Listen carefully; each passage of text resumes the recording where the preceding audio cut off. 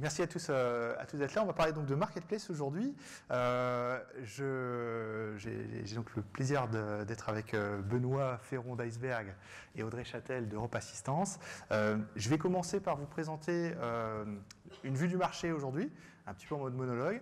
vous pourrez saisir des questions comme d'habitude à travers l'application. Et je vais juste démarrer avec un, petit sondage. Je ne sais pas s'il il s'affiche. Lancé. Voilà.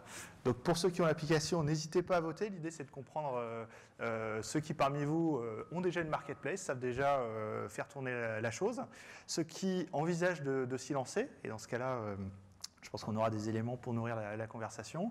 Et puis, et enfin, eh bien, ceux qui n'ont pas de projet, ça m'intéresse aussi la quatrième question, donc c'est à choix multiple. C'est euh, si vous souhaitez, euh, enfin si vous vendez par ailleurs sur des marketplaces, parce que c'est un truc euh, où il y a beaucoup de mariages dans tous les sens, donc ce sera intéressant de pouvoir échanger là-dessus. Alors sur les marketplaces, un élément de contexte. Je vois des marketplaces partout. ça c'est sûr que. Vous pouvez continuer à voter, hein, pardon. Vous pouvez continuer à voter. Si vous avez un petit souci technique, vous levez la main et on essaie de venir vous aider. Je continuer. Les, les, marketplaces, euh, c'est un business qui est devenu euh, vraiment considérable. Aujourd'hui, ça représente euh, en Europe 50% de la croissance du e-commerce. Et, et, donc, je vous ai mis pour rappel quelques chiffres collectés par la FEVAD en France, mais ça peut être 3 milliards d'euros de volume d'affaires l'an dernier. Et quand on regarde le top des sites e-commerce, maintenant, il n'y en a plus un seul qui est une marketplace. Et c'est marrant parce que depuis, depuis 4 ans que nous, on suit ce sujet-là, on voit chaque année disparaître du top 10 ou du top 20 ceux qui n'ont pas de marketplace. C'est-à-dire progressivement, tout le monde ouvre sa marketplace. Et euh, donc j'ai une petite frise chronologique euh, qui, vous illustrera ça euh, juste après. Je voudrais d'abord rappeler, pour être certain que tout le monde est, à jour là-dessus, ce qu'est une marketplace. et la marketplace, c'est un système d'échange entre. Alors, vous voyez, en haut, j'ai un opérateur dans le schéma de gauche, un opérateur donc c'est vous, vous ouvrez votre place de marché et vous, vous mettez en relation des clients en bas à gauche, des vendeurs en bas à droite. Je voudrais juste illustrer la différence entre ce modèle-là et un modèle de livraison directe fournisseur que certains de nos clients retailers euh, parfois euh, opposent au principe de marketplace et, euh, et c'est assez différent. La livraison directe fournisseur, c'est le client vous passe une commande sur votre site et vous, vous transmettez la commande à votre fournisseur. Il y a un transfert comptable de la propriété du stock dans vos comptes et par contre, physiquement, le produit va directement chez le client final. La marketplace, en fait, il n'y a pas de transfert de la propriété du stock dans vos comptes. Directement, ça passe du vendeur au client, à la fois le bien physique et, et, et ça ne transite pas chez vous. C'est-à-dire que vous avez un, modèle qui est euh, nettement plus euh, scalable où euh, quand vous contractualisez vous avec des vendeurs pour les embarquer dans votre marketplace, vous n'allez pas porter des engagements, vous n'allez pas faire transiter chez vous du stock, vous n'allez et, le vendeur également, vous allez le mettre en première responsabilité pour traiter le niveau 1 de relation client. Enfin, il va vous rendre un peu scalable.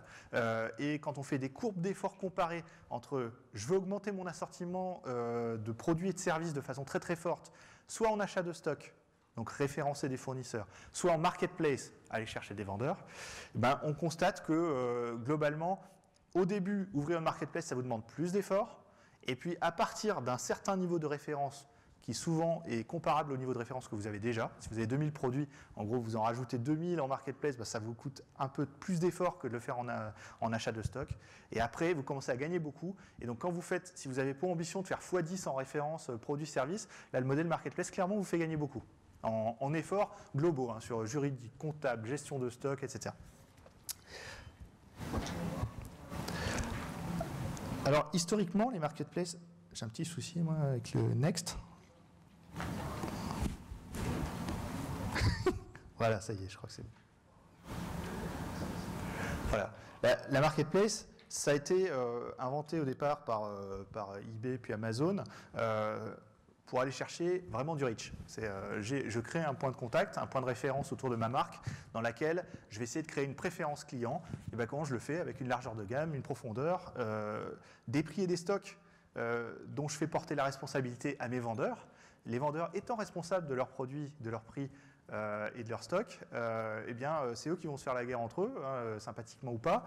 Et, si moi, à la limite, je source des trucs en direct, mais que j'autorise des vendeurs à se positionner également, bah, le jour où j'ai pas de stock, ça leur permet de, de, proposer quelque chose et je fais quand même la vente chez moi au lieu de la laisser à un autre marchand.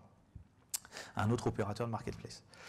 Ça me permet de gagner en visibilité et en trafic, puisque du coup, euh, j'ai beaucoup de longues traînes, donc je vais pouvoir me positionner sur un très grand nombre d'expressions. Et puis, je réduis mes coûts, puisque comme je l'évoquais tout à l'heure, j'arrive à étendre très fortement mon footprint en offre, en service, sans, euh, sans moi porter un effort de recrutement, de stock, euh, d'organisation, de juridique, etc. Alors, cette histoire-là, elle se traduit. C'est pas tout à fait instantané quand même hein, pour le slide d'après. Je suis le seul ou les confs d'avant c'était pareil Pareil? Ok. Euh, l'histoire euh, telle que euh, je pourrais la résumer, c'est que finalement les marketplaces sont devenus aujourd'hui un élément de notre vie économique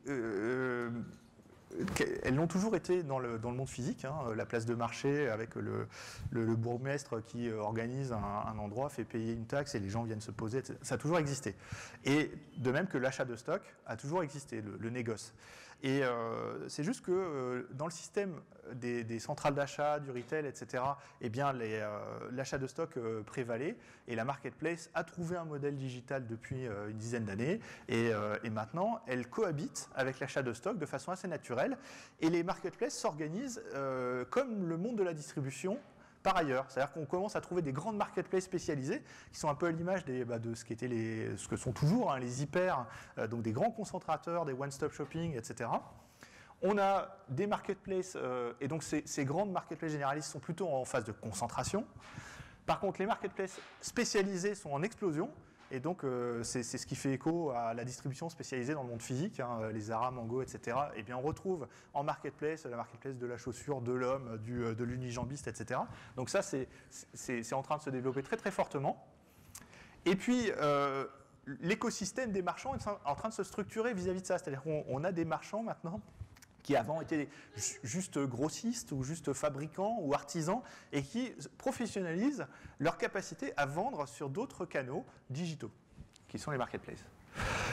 Et un des principaux challenges qu'on relève nous auprès des, en particulier des retailers, c'est moins vrai quand on, je pense dans le cas euh, d'Europe Assistance et d'Omio, ce sera différent, mais pour des gros retailers, euh, ils ont un problème de cohérence parfois, c'est-à-dire que euh, en place de marché, on est moins maîtrisant sur le, service et euh, une des manières pour Amazon, par exemple, de, contrôler le service, c'est euh, de demander à ses marchands de fournir la marchandise, c'est ce que by Amazon, hein, c'est-à-dire je, je, mets à disposition du stock avancé dans les entrepôts d'Amazon qui me facturent pour cela, et au moins Amazon, comme ça, respecte ses promesses de livraison instant ou next day, etc. Donc euh, la, qualité de service, là on a parlé de la livraison, c'est aussi les modes de paiement, euh, l'unicité des offres promotionnelles. Euh, si j'ai un panier multivendeur en place de marché, est-ce que je peux faire une promo qui va concerner plusieurs vendeurs? Et comment je répartis derrière l'effort promotionnel sur mes vendeurs et le remboursement, comment on le gère? Voilà. Donc c'est un peu plus compliqué en place de marché que quand on est vraiment avec son stock à, soi. Donc c'est un des points d'attention. François? Oui. Je t'interromps, je crois qu'on a une question et sans doute tu pourras y répondre. Je ne l'ai pas vu. C'est normal, elle n'est pas encore apparue, mais ah, ça, va, ça, va, venir. Ouais. Voilà. Alors, on parle souvent d'Amazon Marketplace comme le ennemi des retailers, à un avis. Euh, c'est euh, alors pour les petits, euh, c'est-à-dire ceux qui ont euh, une bonne capacité de profondeur, de largeur de gamme et qui sont plutôt donc des grossistes, des gens qui sourcent bien, ils vont trouver un nouveau canal d'écoulement à travers la marketplace Amazon. Pour ceux également qui font du produit, donc par exemple des designers, des créateurs, des gens qui ont des bons ingénieurs, mais qui ne sont pas extrêmement forts sur la distribution, c'est pareil, puisqu'une une marketplace comme Amazon, ils ont besoin d'avoir des bons produits et des bons prix. Donc les bons grossistes et les bons créateurs de produits, ça c'est plutôt un ami jusqu'à ce que, éventuellement, Amazon les double. Donc vous avez intérêt, quand vous vendez sur Amazon, à être plutôt maîtrisant sur euh, votre fabrication, votre sourcing, etc. Par contre, pour les retailers qui veulent ouvrir leur marketplace, alors là, Amazon, c'est vraiment l'ennemi. Hein. Euh, c'est l'ennemi juré qui leur casse leur marge, qui, euh, qui est en train d'avancer progressivement sur le temps réel et donc à diminuer l'intérêt du magasin, de la surface de vente et du vendeur. Donc Amazon pour ceux d'entre vous qui sont déjà allés à New York à la NRF, qui est la National Retail Federation, c'est le club des anti-Amazon en fait. Euh, c'est les seuls qui ne sont pas là. ça fait sourire, mais euh, Amazon est considéré en fait comme le grand ami des clients, mais l'ennemi des retailers. Et voilà, ça, pose un souci. Une autre question, on, enchaîne et après euh, je te laisse poursuivre, c'est promis. Quelle est la différence entre une marketplace et un comparateur? Alors, il y a un modèle d'affi. En marketplace, vous allez effectuer la transaction dans la place de marché, c'est-à-dire qu'elle prend une responsabilité quand même. elle vous offre un cadre de confiance. Quand vous allez sur le bon coin, alors c'est pas tout à fait un comparateur, c'est des petites annonces, mais quand vous allez sur, sur quel coup et que vous êtes redirigé vers un marchand, vous avez un coût au clic ou à l'achat éventuellement, mais quel coût n'est pas responsable si vous avez un problème, si, si votre marchand ne vous livre jamais, etc. Alors que la marketplace, quand bien même juridiquement, elle va se retourner vers le marchand, qui porte une responsabilité. Elle, promet quand même un cadre rassurant, un cadre de sécurité. On aura accès aux moyens de paiement garantis de la marketplace. Euh, on aura accès à, euh, bah, euh, à, un service client de niveau 2 en général. voilà. Donc la, grande différence, c'est le cadre de, réassurance et le modèle comparateur, il est en train de disparaître. Hein, voilà, aujourd'hui, euh, tout le monde s'est un peu mangé. Enfin, Google Shopping a un peu avalé tout le monde. Et, euh, maintenant, euh, le comparateur, ça n'existe plus vraiment. Et le jour où Google, ils sont en train de le faire, permet de l'achat en ligne, ça va poser un vrai débat avec les retailers qui sont leurs clients.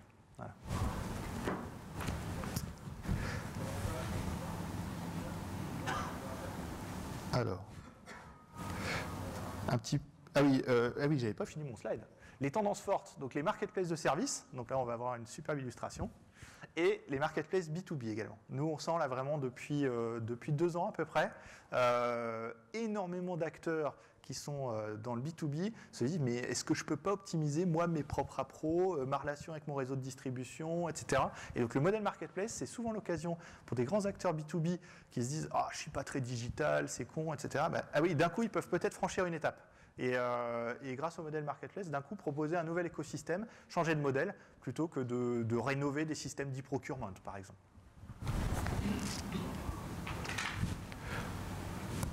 Je vais y arriver.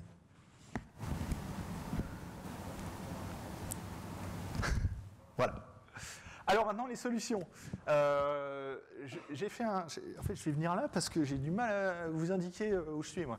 Donc, depuis 2005 jusqu'à 2017, vous voyez, c'est quelques, quelques logos de marketplace qui se sont créés. Euh, et euh, bon, l'idée, c'est que ça grossit. Alors, à partir de 2014, moi, j'arrive pas à mettre tous les logos, il y en a vraiment des tonnes. Et, euh, donc, si on compare l'arrivée de, de, ces marketplaces de façon progressive avec les logiciels qui les servent, ce qu'on peut dire, c'est qu'il y a une histoire d'abord très custom, c'est-à-dire que quand moi je, crée ma marketplace et que je suis Amazon, euh, je l'invente de zéro. Hein. Euh, Tesco a fait pareil au début, eBay évidemment, enfin tout le monde crée sa marketplace de zéro au début euh, et pendant deux ans je tune le modèle, je me casse un peu les dents, etc. Puis je l'optimise, etc. Et puis, il y a un acteur euh, qui, euh, qui s'appelle Miracle euh, qui, a créé un logiciel il y a quelques, il y a quelques années et qui a fait pas mal d'évangélisation. Donc, je pense qu'il y en a beaucoup d'entre vous qui ont dû en entendre parler parce qu'ils ont beaucoup promu le truc de dire arrêtez de faire des marketplaces. Enfin, les marketplaces, c'est l'avenir et puis arrêtez d'en faire tout seul. Prenez un logiciel, etc. Donc, ils ont pu, comme ça, permettre d'accélérer les, les, enseignes qui sont mises dedans. Donc, je pense qu'ils ont créé un effet d'entraînement. Iceberg a fait une belle solution qui, va, euh, qui vous sera présentée tout à l'heure. Ils sont arrivés peu après et du coup euh, a permis aussi de donner de l'ampleur et un côté French Tech. Finalement, il y a beaucoup de boîtes françaises qui se sont mises là-dedans. Et, euh, et, puis il y a un certain nombre d'autres startups qui sont créées après. Je vais vous en dire deux mots après. Et aujourd'hui, moi j'identifie J'identifie une dizaine de solutions de marketplace, dont peut-être 5 ou 6 en France. Donc il y a vraiment un côté français sur les apports de solutions logicielles, parce que finalement, quand on regarde euh, au UK, en Allemagne, aux US, il n'y a pas énormément de solutions encore. Et euh, pour autant, c'est bien un phénomène mondial, les marketplaces. Euh, voilà, et si on veut faire un petit peu de, prédiction, moi, quand je le compare à d'autres marchés qu'on étudie, comme celui des CMS e-commerce ou celui du search and merch ou de la perso, etc., il est possible que des solutions open source émergent. Euh, ça, pourrait être un signe de maturité dans quelques années et qu'on se mette comme aujourd'hui, pour ceux qui s'y connaissent, on a du Elasticsearch pour de la recherche, bah, que demain on puisse avoir également euh, des moteurs de marketplace en open source, alors le plus tard possible, hein, euh, mais, mais, voilà, c'est possible. Parce que ça devient tellement essentiel en fait, ça devient tellement au cœur que toutes les plateformes e-commerce du marché vont devoir en adopter progressivement. Ou racheter Iceberg. alors, comment ça s'organise une architecture e-commerce euh, Pour faire une marketplace, en fait, il faut plusieurs briques. Je vous ai fait un schéma super synthétique, mais euh, en fait, il y a une partie qui va afficher des pages, qui va permettre de gérer un compte client, un tunnel de commande. D'habitude, on appelle ça un CMS e-commerce ou un front e-commerce. Vous verrez qu'après, les sous-découpages peuvent varier. Ensuite, il faut gérer des produits en, marketplace, des produits ou des services. C'est-à-dire qu'on va, on va engranger un, grand nombre de données. Et donc, il y a une préoccupation à avoir autour des produits qu'on appelle euh, en général un PIM, Product Information Management. On a la brique marketplace. Alors moi, je l'appelle comme ça. C'est pour ce qui va gérer les vendeurs et les offres, c'est-à-dire euh, un, stock, une disponibilité, des dates, etc. autour d'un produit ou d'un service. Donc ce référentiel-là, c'est ce que j'appelle moi la brique marketplace. Il y a une brique paiement, parce que vous allez encaisser des fonds pour compte de tiers, il va falloir les séquestrer, puis les reventiler vers vos vendeurs et récupérer des commissions. Enfin voilà, il y a toute une cinématique qu'on appelle cash in, cash out. Et donc il faut euh, une solution à ce niveau-là. Et puis derrière, ça s'adosse sur vos, sur vos systèmes, ERP ou autres. Et euh, on va voir que dans les solutions du marché, en fait, il y a des marketplaces eh bien, qui prennent à la fois la partie PIM et la partie front, certaines qui vont prendre la partie PIM comme iceberg, mais également le tunnel de commande, certaines qui vont euh, faire juste la partie pure marketplace, et là c'est plutôt Miracle. Voilà. Donc euh, euh, les découpages varient un petit peu selon les opérateurs, mais vous avez toujours ces grandes fonctions-là.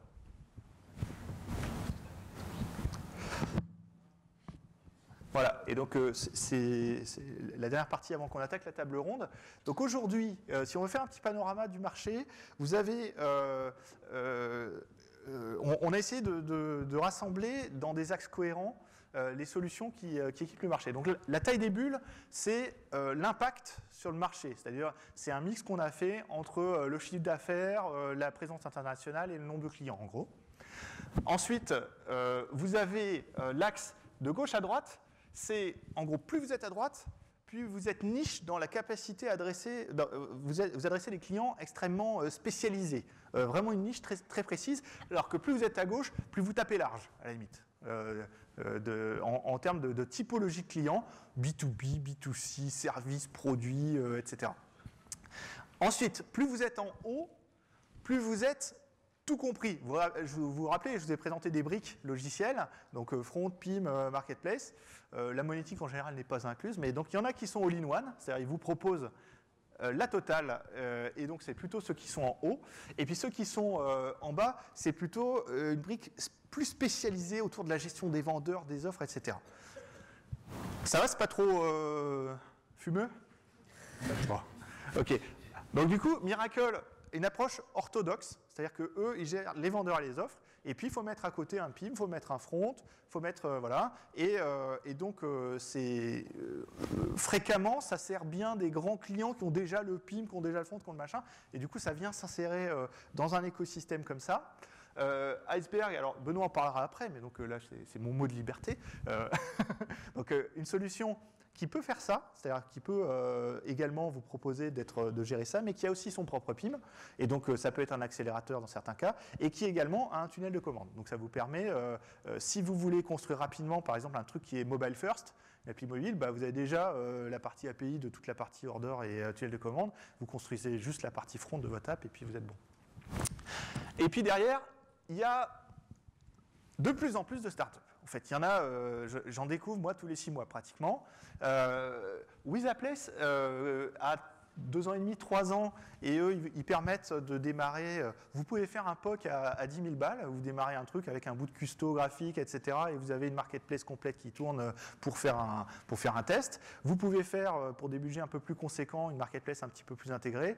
eux, ici, vraiment ouvertement les PME. Voilà, c'est euh, PME à, moyenne PME, ils ont quand même une société euh, plus importante qui est Cash Converters avec qui ils travaillent, mais euh, voilà, c'est un positionnement où ils sont assez clairs dans leur tête et du coup le fait d'être intégré, c'est cohérent. Disruptual, c'est une boîte toute nouvelle qui accompagne Cultura sur. donc ils ont déjà un premier client en prod qui est Cultura pour de la marketplace de DIY. vous savez, on, on, se donne des cours pour dire comment on enfile les perles et on fait du macramé et tout ça. Euh, euh, donc c'est plutôt C2C. Euh, Uppler, c'est une, petite boîte qui, pareil, a, deux ans, qui fait. eux, ils ont vraiment focus B2B. Voilà, ils venaient du sentier, ils étaient dans le textile et, ils mettaient en relation des créateurs et des, et, des, marques et, des distributeurs. Pardon. Et donc, voilà, ils ont un focus très B2B. Cocolabs, c'est une boîte un peu plus ancienne, mais qui, qui est très, très, dans le service. Eux, il n'y a même pas de moteur de recherche, par exemple. C'est-à-dire que quand on connecte sur un client Cocolabs, en général, on nous demande t'es dans quelle ville et à quelle heure tu veux ton service. Donc, par exemple, tu veux louer un tracteur, eh ben, euh, tu, peux dire euh, voilà, il me faut un tracteur à telle ville à tel moment, et, euh, puis je vais trouver, je vais trouver une proposition. blogueur, Bootweek, c'est un acteur qui, qui s'est un peu spécialisé sur les influenceurs. Vous savez, les blogueurs, les gens qui ont de la visibilité, les, les youtubeurs, etc. Souvent, ces gens-là cherchent à monétiser leur, euh, leur, visibilité. Et au lieu de le faire euh, avec, de, la, pub simplement, maintenant, ils peuvent vendre des produits, des produits dérivés, ils, peuvent faire des partenariats avec des, parfums, des choses comme ça. Et donc, euh, Bootweek est bien adapté pour faire ce genre de trucs. Bon, c'est plutôt des micro-business. Et ShareTribe, c'est un acteur finlandais qui fait en gros la même chose, mais un peu plus généraliste, qui peut faire aussi un petit peu de prise de rendez-vous, un petit peu de service. voilà. Donc vous voyez que c'est un écosystème qui se spécialise et qui permet, euh, maintenant si vous voulez euh, lancer une place de marché, bah, euh, d'adresser pas mal de, besoins. dire je suis une grande, une grande boîte, je veux faire un petit POC, bah, j'ai des options. après je veux industrialiser, l'insérer dans mon gros SI, j'ai aussi d'autres options, etc.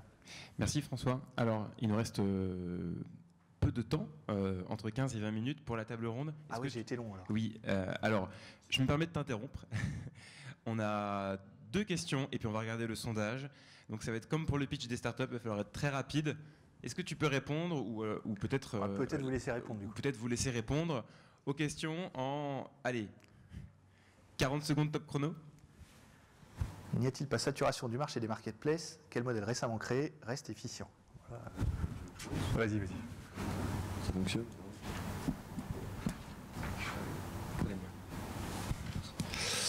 Effectivement, il y a de plus en plus de marketplaces sur le marché. Aujourd'hui, euh, je ne pense pas qu'il y ait de saturation dans la mesure où il y a énormément de verticaux qui ne sont pas encore adressés. Alors effectivement, si on regarde euh, les marketplaces dans la mode, euh, effectivement, il y en a beaucoup, ne serait-ce qu'en France, mais même au niveau monde. après, effectivement, si on segmente le marché de la mode, on peut adresser la mode pour les femmes, la mode pour les hommes, la mode pour les enfants. on a vu des, des, sujets dans la mode pour les femmes enceintes, par exemple. donc effectivement, il y a peu de marketplaces aujourd'hui qui peuvent se targuer d'être ultra spécialisés. Il y en a qui adressent des verticaux assez larges. Euh, mais si on va dans l'hyper-segmentation, il y a encore énormément de place. Euh, moi, je pense tout le temps à, la marketplace de bricolage Mano Mano, euh, qui effectivement est, est, partie de rien. En l'espace de 4-5 ans, on vraiment montré un, très beau, un très beau sujet. Et il y a de plus en plus de gens maintenant qui, qui, leur emboîtent le pas, mais qui veulent aller encore plus loin en termes de segmentation que Mano Mano. Donc je pense qu'il n'y a pas encore d'hyper-saturation.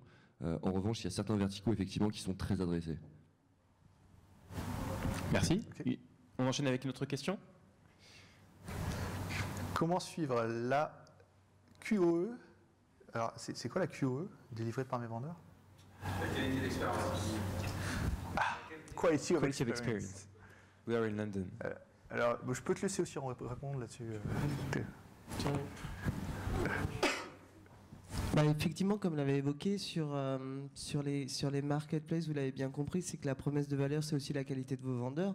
Donc c'est quelque chose qui doit suivre au quotidien. Est-ce euh, qu'il y a une expérience Ça dépend ce que vous vendez, ça dépend de quelle typologie, à quelle fréquence et à quel moment. Mais euh, il paraît évident que vous devez suivre efficacement la qualité. Après, ce qui est intéressant, c'est que pouvez euh, bien sûr euh, intégrer du, du, euh, du, crowd, du crowd rating, ce qu'on voit de plus en plus, la plupart des marketplaces ont du crowd rating, ça vous donne déjà un, premier niveau de qualité. Après, après, tout dépend de, des marchés que vous opérez. Nous, on signe sur notre marketplace, au mieux, on signe des chartes de qualité et on, va, et on va faire aussi des opérations. Là, on est dans le service, donc c'est un petit peu différent de ce que vous auriez dans le produit. Vous allez plus vérifier à quelle fréquence les délais de livraison, est-ce que les produits sur la qualité du, du crowd rating, vous allez pouvoir effectivement apporter plusieurs niveaux. Est-ce que la qualité des produits était bonne? Est-ce que la livraison s'est bien passée? Est-ce que le retour client est efficace, etc. Euh, voilà, il n'y a pas de réponse toute faite là-dessus. C'est aussi à vous, en fonction du niveau euh, de qualité des vendeurs que vous voulez imposer, que vous voulez pouvoir euh, effectuer un, bon sourcing. Et, les outils de marketplace vous fournissent des dashboards en fait. C'est-à-dire vous avez des trucs qui vous automatisent la vérification des délais d'acceptation de commande, des délais de réponse, des, des, traitements des litiges, etc. Enfin, vous avez tout un tas de KPI qui vous permet aussi d'automatiser la mesure de la qualité de service. 30 secondes pour répondre à la prochaine question qui va apparaître. Plutôt pour vous, François, je pense. Quel est l'éditeur sur la meilleure visibilité SEO euh, franchement, euh, déjà, il n'y a pas beaucoup d'éditeurs qui font le front. Euh, le front, enfin la visibilité SEO, c'est une partie, c'est de la création de données en middle office pour mailler des contenus, etc. Euh, enfin, les, réécritures de RL, etc. Mais le front va emporter une grande responsabilité. Et donc, euh, euh, je pense, par exemple, dans les cas de, de, Iceberg, de Miracle, je pense que le job est fait pour alimenter correctement un front. Mais si vous développez votre front n'importe comment, la visibilité SEO sera, sera pas top. Après, entre ceux qui fournissent un front, donc WizAplay, ShareTribe, Cocolas, Boutique, etc., je ne saurais pas vous dire précisément. Il faudrait vraiment les auditer. comme c'est des solutions qui sont toutes récentes, euh, euh, elles respectent un certain nombre de choses, euh, des pratiques de, gestion de poids de page, de, évidemment les URL sont réécrites, etc. Mais je ne saurais pas vous dire précisément parmi ces solutions-là laquelle est la plus experte. Bon, on poursuit sur notre table ronde alors. Voilà, donc je suis heureux de, vous passer la parole. Peut-être on peut commencer, Audrey, pour que tu, nous racontes l'aventure euh, en partant de euh, l'opportunité stratégique. Euh, qu'est-ce qui, pour Europe Assistance, a fait qu'à un moment, vous êtes dit, on va créer Omio, et ça va être quoi Peut-être on, commence avec ça? Alors effectivement, le, sujet est venu à l'horizon du plan stratégique 2020, le fameux euh, plan qu'on fait tous dans les grands groupes, euh, en se disant finalement on a des assets, euh, à savoir la force de notre réseau, hein, c'est ce qui fait Europe Assistance aujourd'hui, et avec l'émergence voilà, de, de, nouveaux business models sur le marché des services à la demande.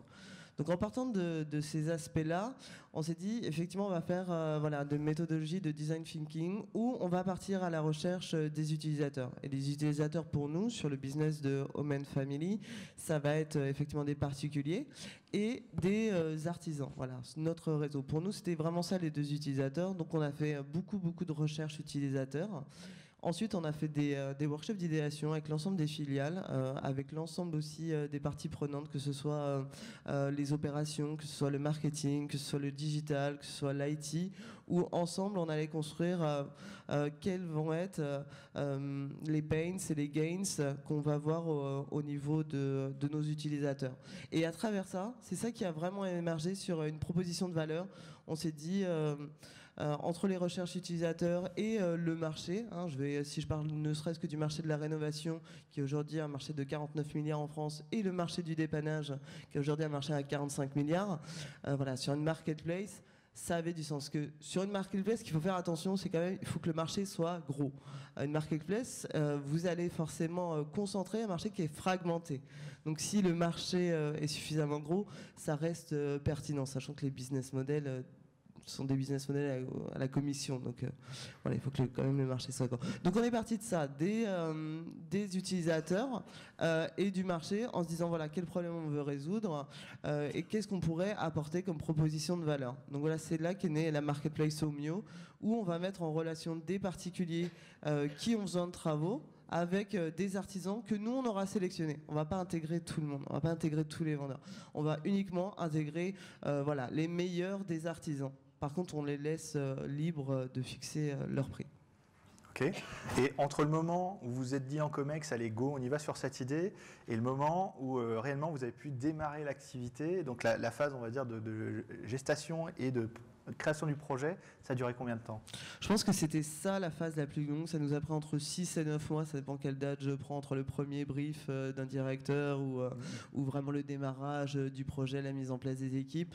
Mais voilà, il a fallu convaincre. Hein, il a fallu convaincre le top management. Il a fallu effectivement prouver que la méthodologie, hein, sur la méthodologie de design thinking et la méthodologie aussi agile qui va avec, euh, voilà, il a fallu convaincre sur les directions. Donc euh, bon, là, on se retrouve, on fait, on fait beaucoup de réunions et, euh, et, on présente nos chiffres et on présente nos assets. Mais ce qui est intéressant, c'est de se dire, déjà, c'est pas moi qui, qui vais dire tiens, j'ai pensé à ça et c'est intéressant. Non, c'est la voix des utilisateurs.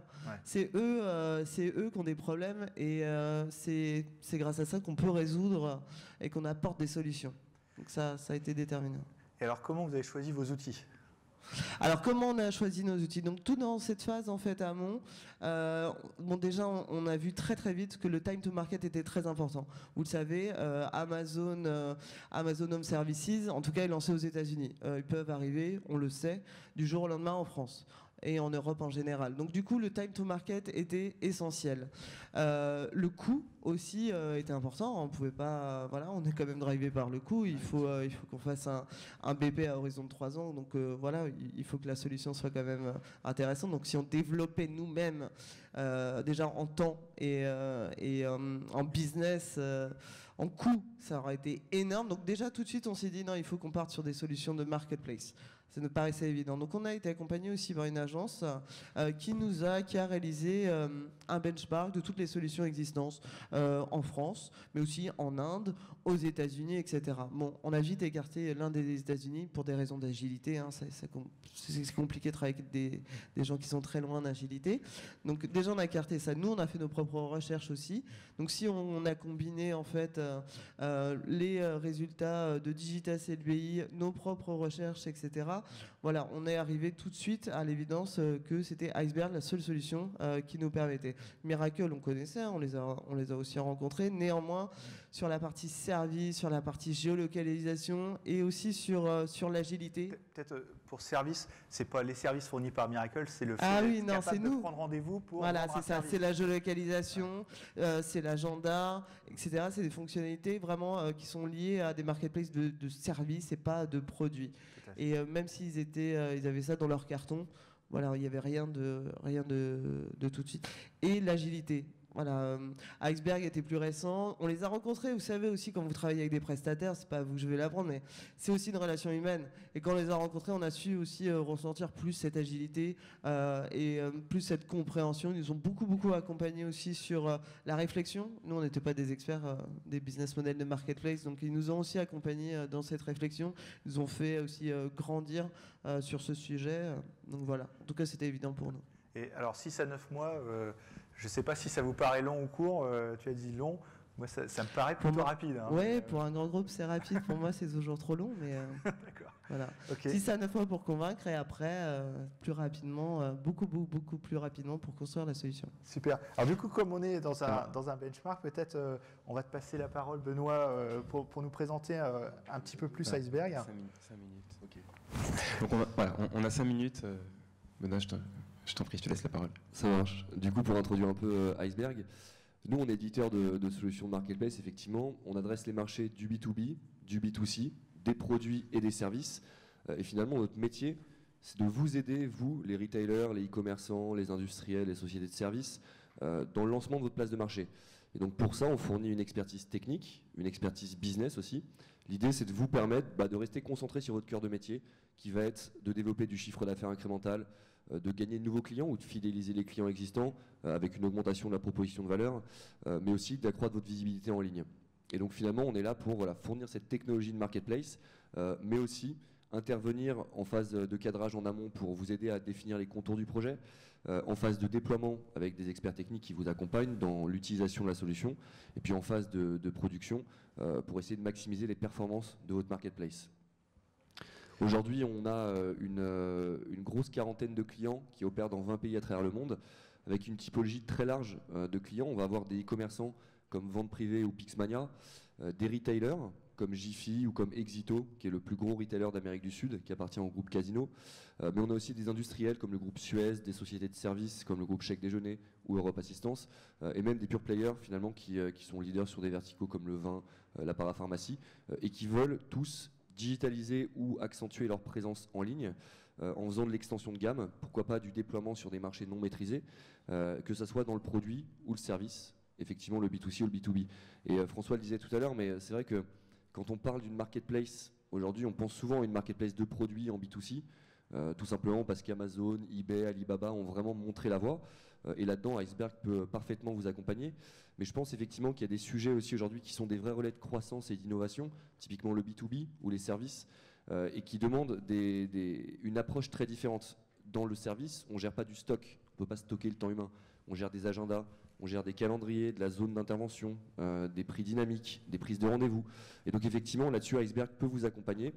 Euh, et quand on pense une marketplace, faut pas forcément essayer de la mettre dans une case en se disant c'est du produit B2C. Ça peut être du produit et du service complémentaire. Je prends l'exemple souvent de, de Chèque Déjeuner, qui est un de nos clients pour qui on a fait une marketplace B2B, produits et services. Euh, et effectivement, c'est sur des, sur des, des, niches qui sont pas forcément euh, identifiables tout de suite parce que moins évidentes que celles dans le B2C, mais qui apportent des vrais relais de croissance pour les entreprises. Merci. Alors, euh, du coup, Omio, euh, vous avez démarré il y a quelques mois. comment ça s'est passé quel KPI tu regardes? Qu'est-ce qui te satisfait? Qu'est-ce qui te frustre aujourd'hui? Alors d'équipiers, on s'y plaint. Donc euh, on est combien de vendeurs euh, Non, ce qui, est, ce qui, est, intéressant, donc euh, on est dans une approche aussi dans la méthodologie de Lean Startup où effectivement là on est dans la phase de growth hacking. Donc ce que je dis toujours, c'est que voilà, on n'est pas dans la phase. Je vais faire des affichages en 4 par 3 pour promouvoir mon produit, mais non, on va tester les différents canaux de différents canaux de communication. On va vraiment expérimenter. On est dans la phase vraiment expérimentation, ce qui est un point très très positif. Et là là-dessus, vous savez, c'est sur une marketplace, il y a des acheteurs et des vendeurs et c'est toujours la problématique de chicken and eggs où on se dit voilà j'espère il me faut des vendeurs au départ hein, pour pour avoir des clients euh, est-ce que ces vendeurs je vais arriver à les recruter efficacement? Euh, est-ce que je vais en avoir suffisamment etc ce qu'on a eu de la chance c'est qu'on a vraiment travaillé euh, encore une fois, sur la proposition de valeur, c'est clé. Hein, c'est clé. Si vous n'avez pas de proposition de valeur, vous n'avez pas de produit en marketplace et pour tous. Et du coup, on a une proposition de valeur tellement forte, en fait, pour l'artisan, on a la marque euh, Europe Assistance qui arrête quand même très très forte euh, en France et on a des vrais coups de cœur de nos artisans. Ils sont un attachement de marque euh, qui est hyper intéressant. On a un faible commissionnement. Euh, pour, euh, pour les particuliers, nous on a un double commissionnement, mais un faible commissionnement pour l'artisan parce qu'on veut vraiment euh, les meilleurs. On a des process du coup d'onboarding totalement digitalisés, bah, notamment grâce à Iceberg et à la marketplace. Et on a aussi des applications mobiles pour fluidifier tout ça. Du coup, on a, voilà, on n'a pas de problème de, non aucun. Ça a été, enfin beaucoup plus rapide que que ce qu'on pensait. Et aussi après, c'est les canaux de recrutement, parce que euh, voilà, aujourd'hui, on va recruter différemment nos artisans. Ils peuvent paraître, euh, euh, voilà, on va les recruter sur LinkedIn, par exemple. Ça marche très bien. Voilà, on a expérimenté plein de choses aussi sur LinkedIn. C'est des choses qui marchent bien. Un connecteur LinkedIn maintenant. pourquoi pas Ok. Alors, je suis navré. Il nous reste très peu de temps, donc. Non mais c'est on, arrive à la fin. Je voulais juste savoir si euh, sur euh, la, partie euh, expérience client, est-ce qu'ils sont satisfaits finalement? Est-ce que la promesse, elle est bien nourrie?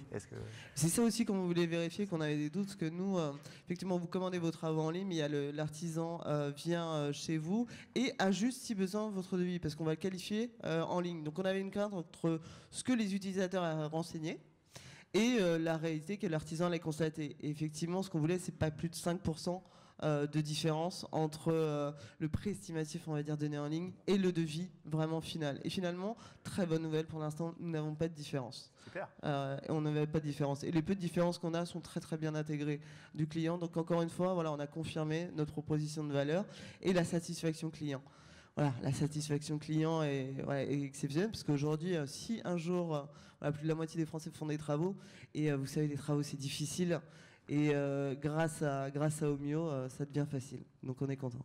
Alors, pour, euh, pour, conclure, on a quelques questions pour Iceberg. Alors, deux questions pour vous. Je vous propose d'y répondre en 30 secondes chacune. Et puis, François, pour conclure, si tu le souhaites, je te proposerai de commenter les résultats du sondage que tu as annoncé au début. Alors, d'abord, Benoît, c'est pour, c'est pour vous. Iceberg, avez-vous des frameworks e-commerce de prédilection Alors on s'intègre sur euh, tous les CMS e-commerce qui existent. On est totalement agnostique en termes d'intégration. Donc en termes de CMS e-commerce, ça peut être du SAP Ibris, du Oracle ATG, Intershop, Magento ou autre. Euh, donc pas de, framework de prédilection. On s'intègre aussi sur du custom. Euh, et comme l'a dit François tout à l'heure, on peut injecter même les briques e-commerce dans un site qui n'est pas transactionnel. Donc injecter le panier d'achat, le checkout sur des sites en PHP, en .NET, en Java. Il n'y a pas vraiment de limite. Donc euh, pas de prédilection dans la mesure où on est 100% agnostique et 100% par API. Une deuxième question.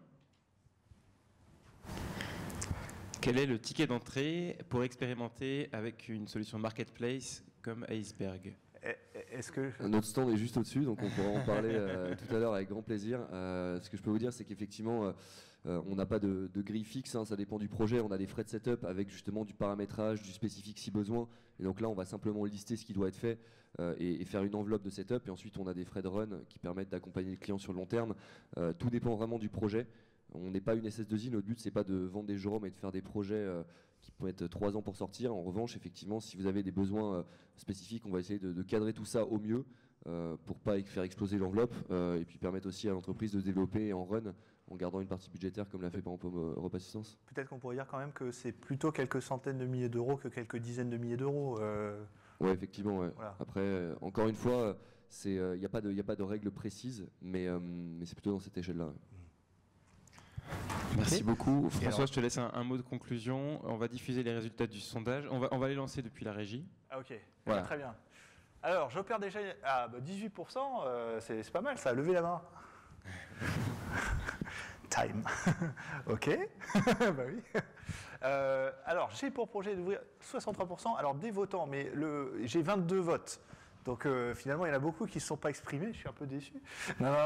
Donc euh, il y a à peu près donc, 12-13 euh, personnes qui, veulent ouvrir une marketplace. Je ne souhaite pas créer une marketplace. Et alors, je souhaite, je vends déjà ou je souhaite vendre sur d'autres marketplaces. Il n'y en a pas beaucoup, ça c'est un peu surprenant.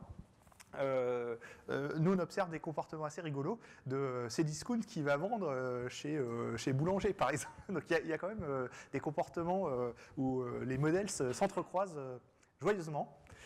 Bon, si on, si on a fait le tour des questions, merci beaucoup. Merci, Audrey. Merci ceux, ceux, qui veulent échanger, bah, vous avez l'application euh, aussi. On peut, on peut partager des expériences.